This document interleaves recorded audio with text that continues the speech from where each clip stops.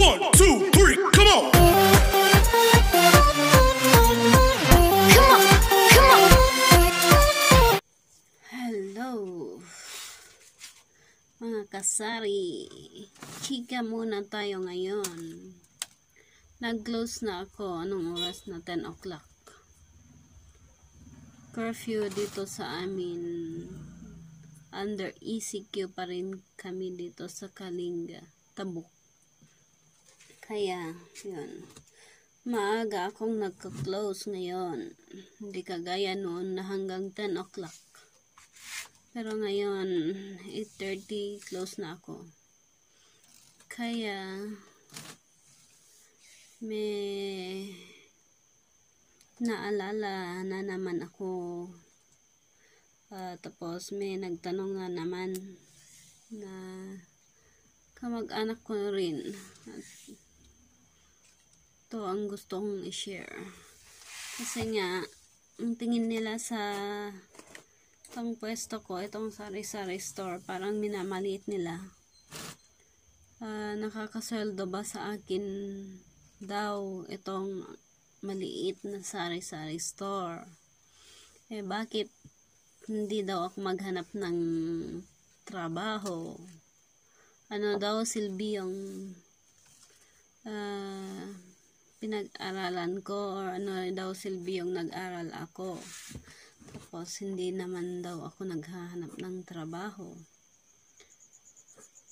Pero, ang sagot ko lang sa kanila, masaya ako sa ginagawa ko. Hindi ko kailangan na mag-explain sa kanila. Nag-explain ako two times or one times. Tama na yun. Tapos, hindi ko naman kailangan na mag uh, explain sa kanila kung anong gusto ko sa buhay. Kasi yung importante yung mga kapatid ko, yung parents ko, eh, support sila sa kaya yun, yun ang importante, supportado ako sa mga pamilya ko. Tapos, binibigay ko ang kail, ah, dapat na maibigay sa kanila. Binibigay ko yung pagkain nila, yung parents ko.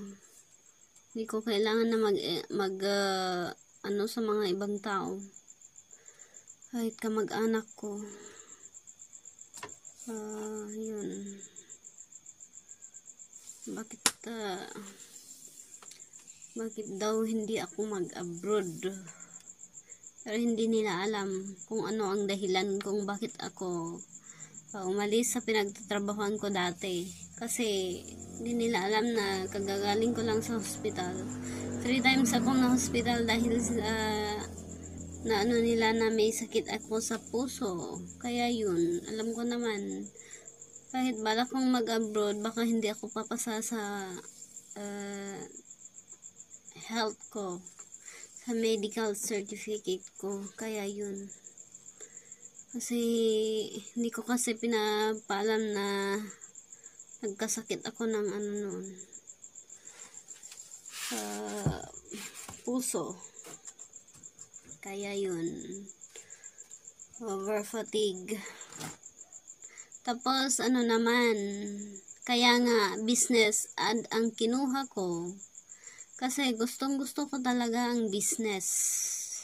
Nung elementary pa ako, eh, nagtitinda-tinda na ako kahit hindi negosyante yung mga uh, parents ko or ano. Basta yun ang gusto ko. Nagtitinda-tinda uh, lang. Lalo, nung pumunta ako sa Sagada at saka sa Bontok nga, eh, bakit yung mga kahit naman karamihan naman dun na business man at saka business woman eh, yung mga nakapagtapos ng pag-aaral nila, nila may ano pa, uh, dual course pa ang tinatapos yung mga iba pero business pa rin ang ano mas priority nila. Kaya yun, masya. Doon talaga ako nag ano. Kaya yun, nung umuwi ako, talagang yun talaga ang nasa isip ko. Mag-business talaga ako. Kaya, ito, kahit ang liit-liit tong store ko. Alam ko naman na nakakabenta pa rin ako. Siyempre, inassess ko muna nung una. Kung makabayad ba sa araw-araw na ano ko. Yun. Kahit ang liit-liit lang. Basta nakakabenta. Okay na yun. At nasa iyo naman kung paano mo i-manage yung pera mo kahit ang laki naman ng sahod mo kung hindi mo alam na mag-manage eh wala pa rin.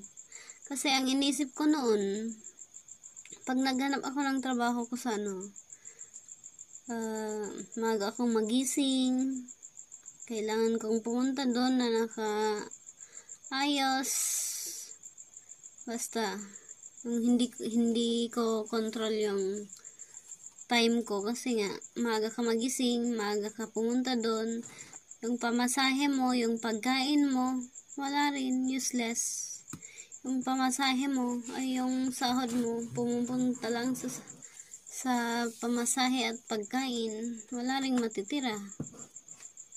Eh, dito sa store ko, hawak ko ang oras ko. Kailangan lang na magsipag ako kailangan na mag-isip ako ng mga extra extra income para makabayad naman sa ano ko sa sahod sa sarili ko kaya yun at least masaya ako sa ginagawa ko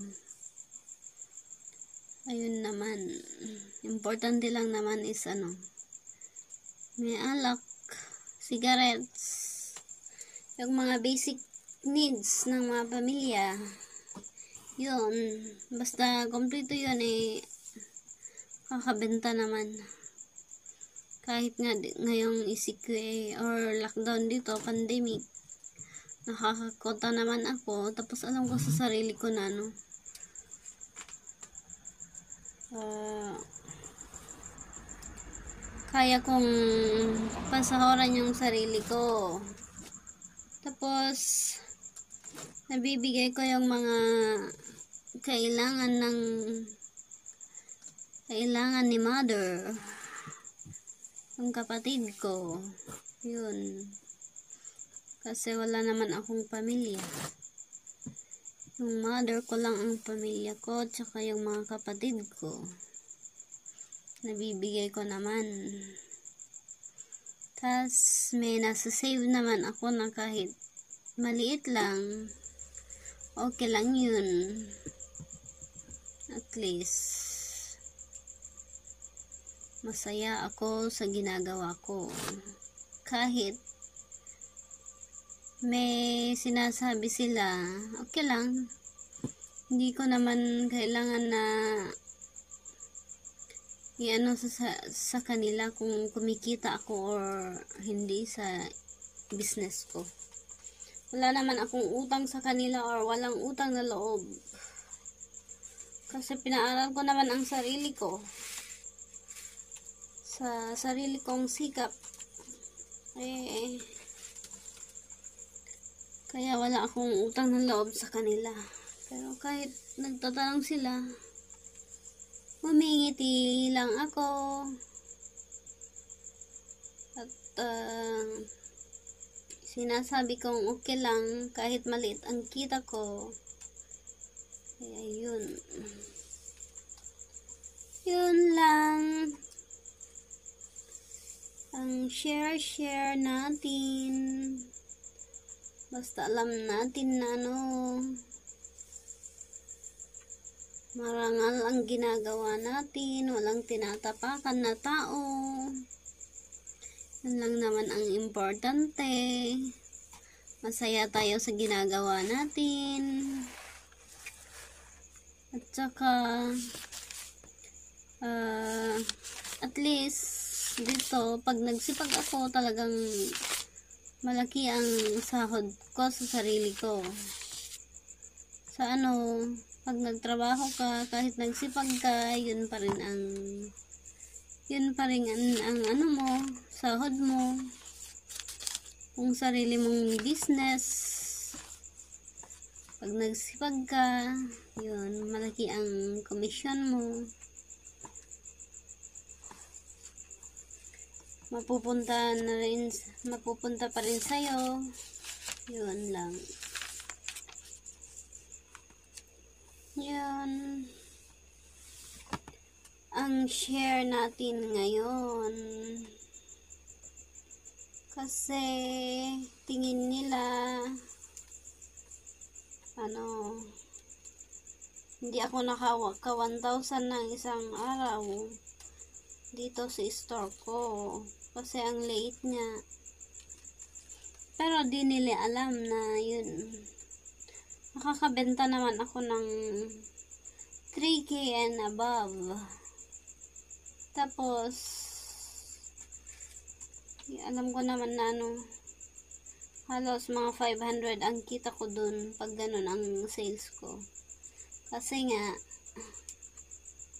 20% hatong 15% at saka 10% mag, ah, depende sa ano sa product or sa paninda. Yun. Pasensya pala sa lagi kong ano sa lagi kong ah, background kasi ditong itong pwesto lang ang nakakaganda ng ano camera. Kasi nga yung ilaw sa harapan ko. Yun. Kaya laging ganyan ang ano ko background ko. Yun lang. Stay uh, healthy and stay positive. Think positive always. All is well. Kahit pandemic. Habang may buhay, may pag-asa. Yun lang ang masishare ko ngayon. Babush! And thanks for watching my video and please subscribe